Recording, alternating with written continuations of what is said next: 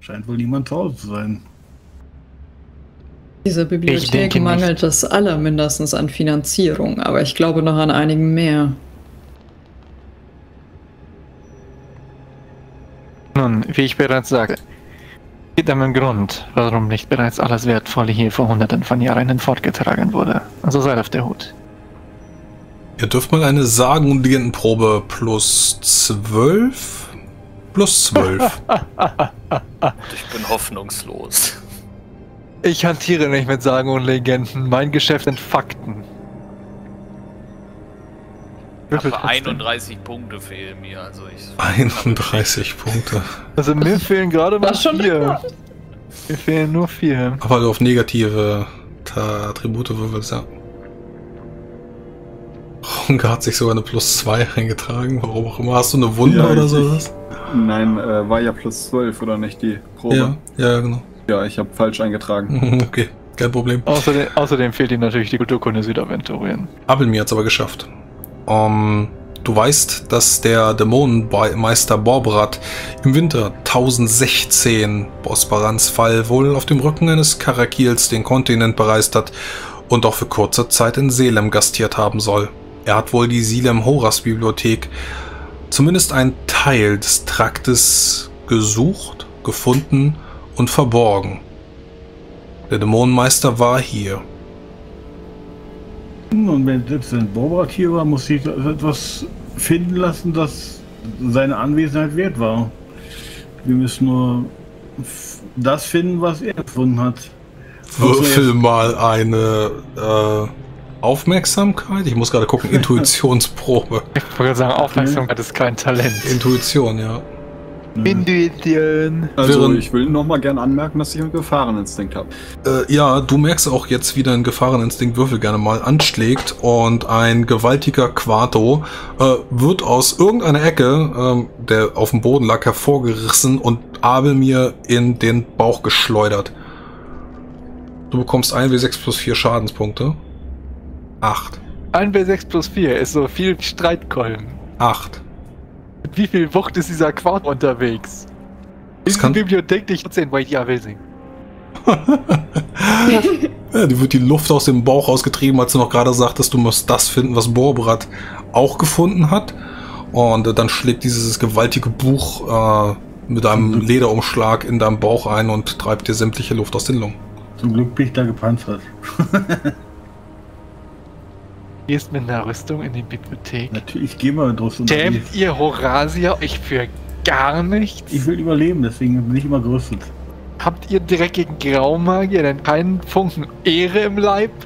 Das sagt mit Schwarzmagier. Ja, ich gehe überall in allerfeinster Seide hin. Danke, Zulamin. Bitte. Oh, äh, bestellt man so hier Bücher? Ich schätze nicht. Ja. Schaut erstmal, was da ein Attentat euch versucht hat. Schau mir jetzt mal ein Buch an, was mir entgegengekommen ist. Wie man Menschen kocht. Ich hoffe nicht. Äh, nee, das ist äh, Al-Rashida Nuran Shah Tulamach. So, mit sowas werfen Leute hier durch die Gegend. Unglaublich. Wartet, lasst uns erstmal schauen, was der Auslöser war. Sagt denselben Satz nochmal. Nein, ich bin nicht dumm genug, um sowas zu tun. Ja, Serpentilio in die Intuition. Ich wollte sagen, dann sage ich in den Satz nochmal. Nee, du kriegst jetzt schon eine Intuitionsprobe. Ja. Wir werden also nur von random Büchern attackiert. Ja, beziehungsweise du siehst wie eine gewaltige Schraube äh, angespitzt, ein, ein großer Nagel äh, rausgerissen wird und äh, inklusive des Brettes auf dich zurast. Ja, ich werfe mich hinter Rafim in Deckung. Ausweichenprobe erleichtert, weil Rapin so groß ist? Nein. Warum nicht? Du hast gerade die Chance erhalten, auszuweichen, bevor das Brett ranrast. du versuchst hinter Rafim abzutauchen, stolperst und äh, fällst in das Brett rein. Äh, du merkst, wie sich der, der Nagel äh, wohl so ein bisschen äh, durch deinen Mund, beziehungsweise nicht durch deinen Mund, sondern äh, durch deine Wange hindurch bohrt und auf der anderen Seite in deinem Mund wieder rauskommt äh, irgendwie so ein Zahn schrappt voll ab. Du bekommst äh, wieder 1 W6 plus 4 Schadenspunkte. Das war ja gerade mal 7. Damit bin ich kampfunfähig! Serpentilio! Außerdem ist das, das ist eine Wunde. Keine Hey, Wunde. Das ist eine Wunde, doch, das ist eine Wunde. Haltet ein, wer immer hier mit Sachen um sich wirft. Gib mir mal, gib mir mal einen W20. Hoch ist schlecht. 13, 13. dann kriegst du sogar den doppelten, weil es äh, gegen den Kopf gezielt war. Dann sind es nicht 7, sondern 14, ne? Wait, wait, wait, what? Warum Ja, ist 13 kriegt neuerdings der, warum ist 13 neuerdings der Kopf? Weil, nein, weil, er- weil er gegen den Kopf gezielt hat. Du hast einen Ausweichenpatzer, er hat den Kopf getroffen und äh, normalerweise Ist kein 19, Ausweichenpatzer. 19, 20 ist der Kopf und das war jetzt eben dann, äh, ja, beim Kopf ziehst du halt, äh, Also, jetzt er, hat, er hat nicht gezielt, er muss gar nicht würfeln, er hat nicht gezielt. Zielen ist ja schwer. Das kannst du im Poltergeist Also, sagen. nee, nee, nee. Das kannst du nee, im Poltergeist sagen. Du kannst dir 14 SP aufschreiben. nee. Ich sag dem Poltergeist gar nichts. Ich will erst eine Angriffsprobe von ihm sehen. Du kannst nicht hinterher entscheiden, oh, das war im Übrigen auf Kopf. Äh, er hat dich, er hat dich getroffen? Nee, ja, nach, nachdem der Ausweichenwurf kaputt ist, sagst du, oh ja, er nicht gegangen ist, sagst oh ja, er hat im Übrigen auf den Kopf gezielt. Oh ja, natürlich. Ja, ja, ja, okay. Fall. Also, du wirst, auf, wirst du ausgenockt oder nicht? Ich bin, ich hab doch schon gesagt, ich bin kampfunfähig. Ja, siehst du. Also ohne doppelten Schaden schon. Ohne Ja. Doppeln, ja, ja. Hab ich doch gesagt, hörst du mir nicht zu? Ja, wartet, ich würde ihn mal über meine Schulter werfen. Haltet ein, wer immer ihr uns mit Sachen bewirft. Wir kommen Behandelst du gerade mit der. Bücherei? Nee, ich rufe in den Raum rein. Und der bewirft uns ja und ich kann ihn nicht Aber wir sehen. kommen nicht als, aber wir kommen nicht als Freunde. Das weiß Aber das nicht. Weiß die Bibliothek doch nicht. Aber mir Aber ist es Bewegungsmagie. Bibliothek? Es ist für klug, die Bibliothek anzulügen? Ich weiß nicht, was es ist. Ich kann keinen Werfer erkennen. Das kann auch ein profaner Werfer sein, der sich sehr gut versteckt. Wer kennt sie nicht, die profanen Bücherweitwerfer? Nun, das war ja ein Stück Holz mit einem Nagel. Auch immer meine Waffe der Wahl, wenn ich mit Dingen nach Leuten werfen will. Antwortet jemand? Äh, bisher nicht. Hallo, wir kommen als Freunde. Halt Dieses Echo. ein. Ich stütze nur meine Sta Wie ist das Licht hier drin, Frau Sohn? Ähm, wahrscheinlich sind oben in der Decke ein paar Durchbrüche, durch das dann schwaches äh, Licht in komischen Farben hindurch scheint und durch die Tür eben auch sehr wenig. Also du kannst deinen Stab auf alle Fälle anmachen, wenn du möchtest. Ja, also wenn die Lichter dementsprechend schlecht sind, dann muss ich auf jeden Fall den Stab anzünden, um ein bisschen mehr Licht zu schaffen. Hallo, wo ist hier der Bibliothekar? Der Oberbibliothekar? Irgendjemand? Es ist für klug, in der verhexten Bücherei rumzuschreien. Ja. Hätten sie nicht gewollt, dass man hier herumschreit, hätten sie ein Silenzium über die Bibliothek gelegt. Hat das Doch, sie haben einen stattdessen- Effekt, den man beobachten kann, dass Abe mir so rumbrüllt? Du siehst, wie wohl in einem der Bücherregale irgendwo hinter, hinter diesem Pult bei der Anmeldung, da siehst du so zwei, äh, zwei Bücherregale, die sehr, sehr hoch sind und dann siehst du, wie ein geisterhaftes Licht auf dich zutanzt. Auf mich oder auf Abel? Auf euch alle. Schwebt und hüpft so ein bisschen hin und her. Und dann noch eins. Und noch ein drittes Licht. Gar- Achso, sehe ich es auch oder? Ja, ja, könnt ihr sehen. Gut, dann drücke ich mal Guardianum gegen Zauber. Kann nicht schaden. Glaube ich, plus 3, glaube ich. Hoffen einfach mal. Keine Ahnung.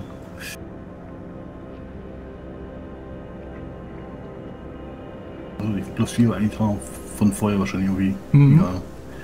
Ja. Ja, ja, ist gelungen. Ja, du würfelst deinen Zauber, du spürst so ein bisschen wie die Matrix, die aus der Hand gerissen wird und der Guardianum dann aufgespannt wird. Irgendwas hat dir da vielleicht geholfen oder so, du bist dir nicht ganz sicher, aber die Matrix scheint so nicht ganz funktionieren. Und äh, ja, dann guckst du dich ein bisschen um, du siehst, wie die Lichter weiter auf euch zukommen. Es sind dann so Irrlichter, aber da sind keine, also da sind keine Glühwürmchen oder sowas hinter, sondern es sind einfach magische Lichter, die dann vor euch hin und her tanzen und euch versuchen auch mit leichten Farbwechseln zu irritieren und äh, ja, zu, zu ängstigen.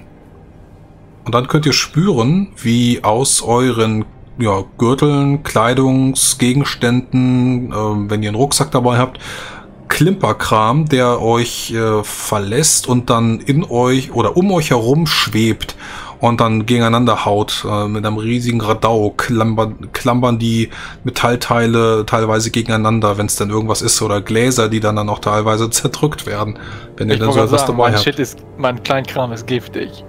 Ja, dann wirst du jetzt sehen, wie dir irgendwelche Fiolen von deinem Gürtel. Ich sehe Oder gar nichts, Heil- ich bin. Ich hoffe, ja. Das ist ein Problem für die anderen. Das ist ein Problem für die anderen. Heiltränke, die sich von Serpentilius Gürtel lösen und dann äh, mit Klimpern irgendwie gegen äh, eine Dolchspitze von, von, von Abelmir oder von, von Zulamin, irgendwas Klimperkram, vergessen wir nicht die, vergessen wir nicht die Polakukris. die dann um mich herum in einem riesigen Radau. Ja, wir haben zwei Möglichkeiten. Entweder wir gehen tiefer rein oder wir verschwinden. Ja, wir müssen ja tiefer rein. Also vorwärts.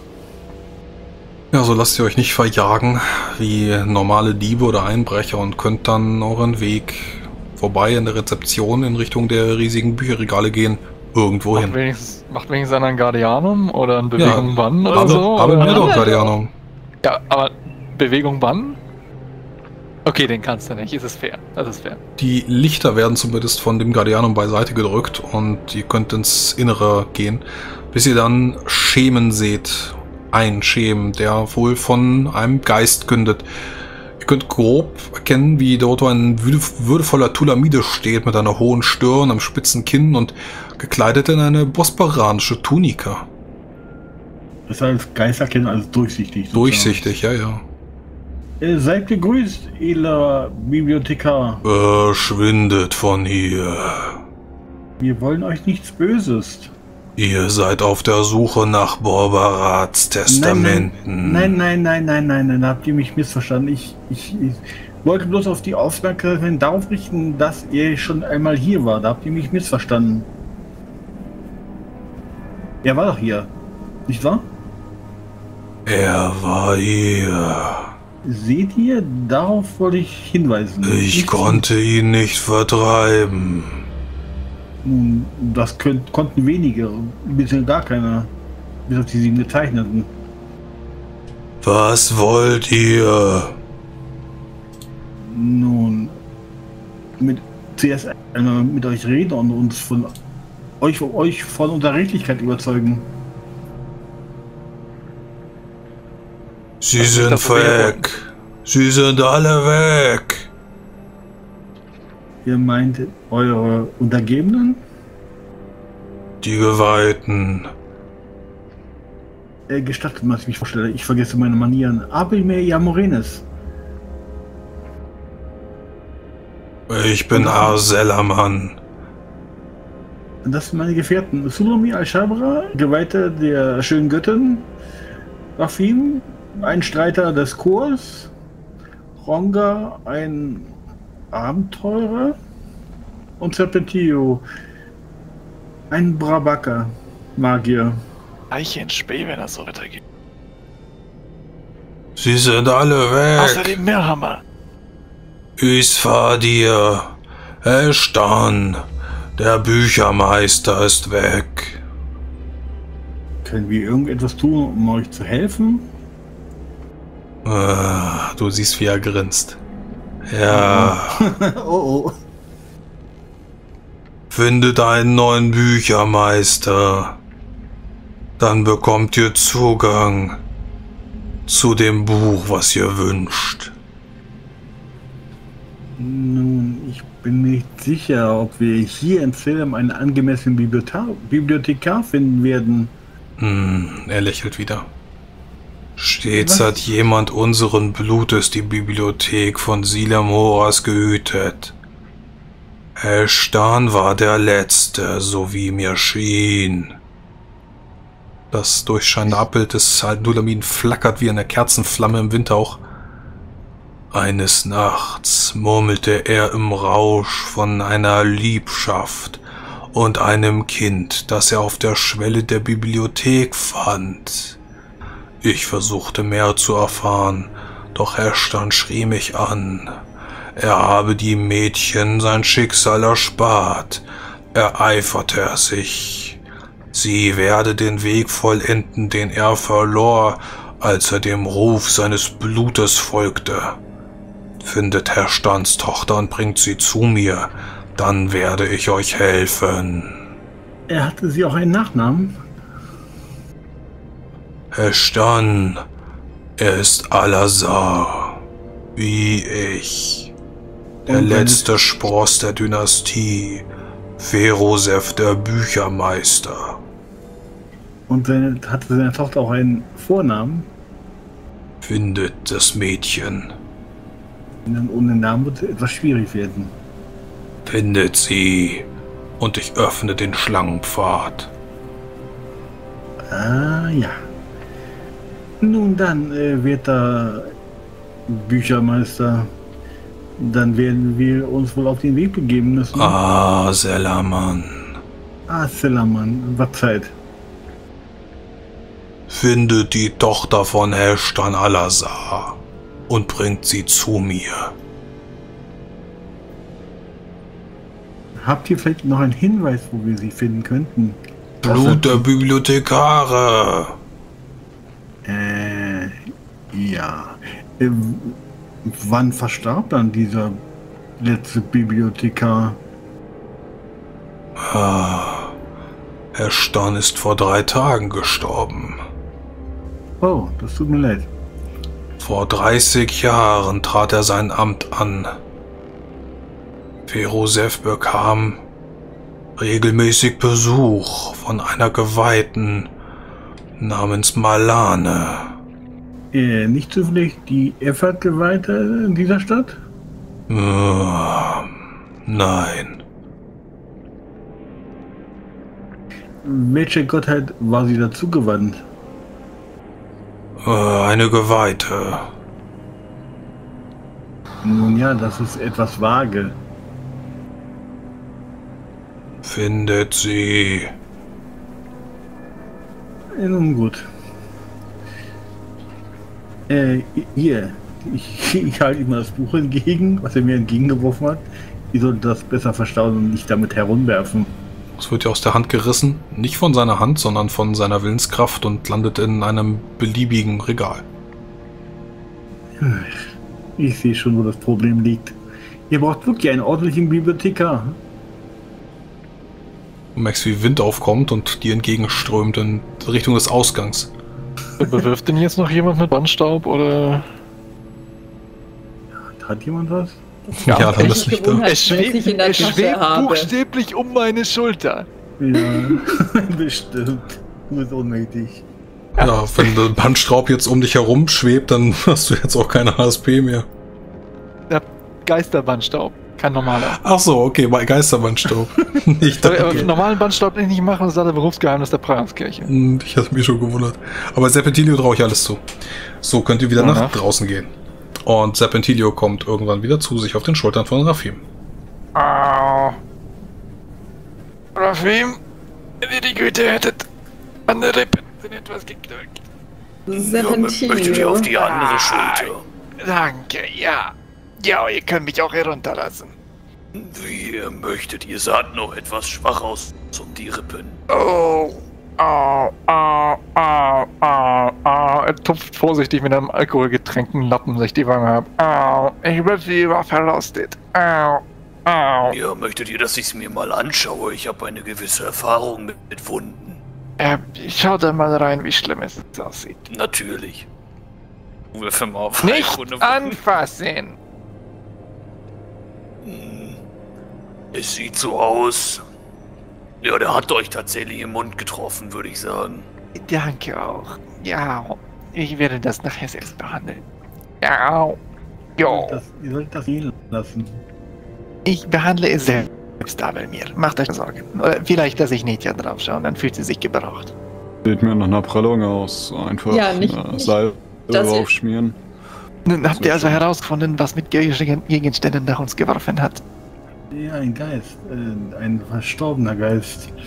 Er beauftragte uns, äh, die Tochter des verstorbenen letzten Bibliothekars zu finden.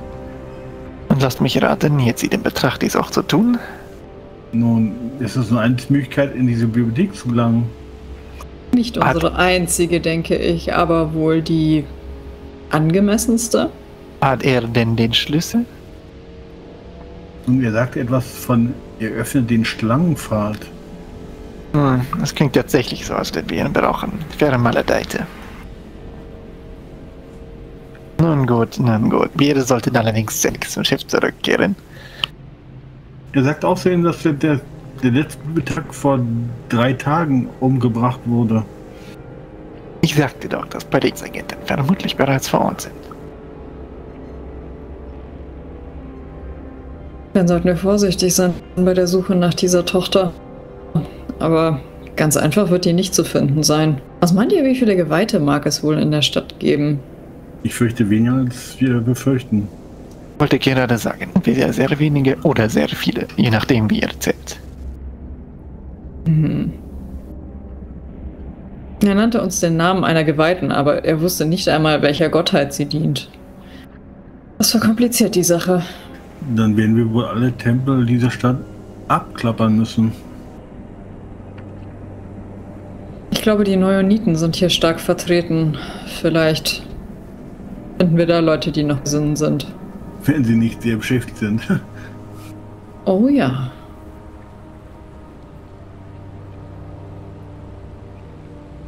Nun gut, fürs Erste sollten wir aufs Schiff zurückkehren. Es sei denn, ihr wollt in dieses Hotel. Nein. Das klingt grausam. Seid offen für Neues. Aber ich verstehe euch. Hm, Versteht das jetzt nicht falsch ab. Will mir aber offen für Neues klingen nach einem ganz schön ketzerischen Satz. Bin vor allem nicht offen dafür, im Schlaf ermordet zu werden, nur weil ihr ein bequemeres Bett haben wolltet. Ja, offen für Neues scheint in dieser Stadt eine rosti ein rostiger Nagel durch die Wange zu sein und ja, naja. Darauf kann ich nicht Er guckt, verzichten. als hättest du ihm gerade in die Rippen getreten. Naja, dann ähm, soll ich uns erstmal zurückführen. Ja,